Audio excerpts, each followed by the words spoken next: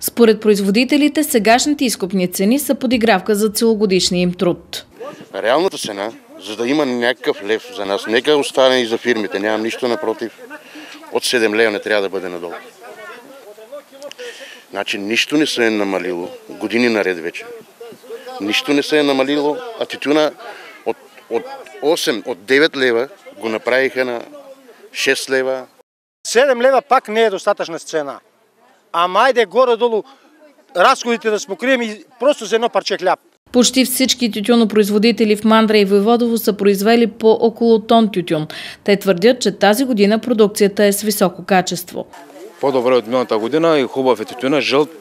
И нали, зависи пак какво ще бъде от човека, как ще го отгледа, как ще го... Като малко деца сме го отгледали. Първоначално стопаните бяха решили пред цена от 7 лева да не продават нито ли 100, но по-късно склониха и на цена от 5,70 лева за килограм.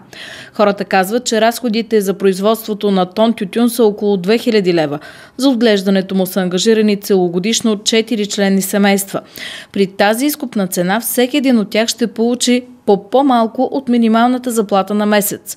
Много от тютюнопроизводителите имат дългове. Задлъжнели са тия хора всичките в банките. Насякъде. Кой е от този вземал, кой е от другия. Магазините вари, проверете. Пълно е, списъка е пълен.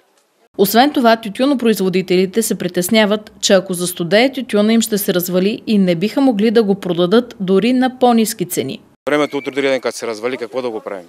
Ще, ще се развали, разбира, ще стяга се и разваля се. Той, е- той е тръгнал. Той е тръгнал. Те, те това чакат фирмите.